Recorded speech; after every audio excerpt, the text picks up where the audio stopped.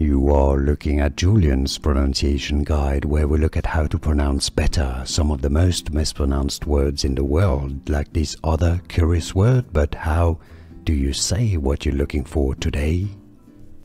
We are looking at how to pronounce this name from Italian. We'll be looking at how to say more interesting but sometimes confusing Italian names, so make sure to stay tuned to the channel. This is Italian for Julian.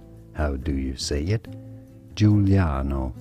Giuliano. Pretty straightforward once you know Giuliano. And now you know.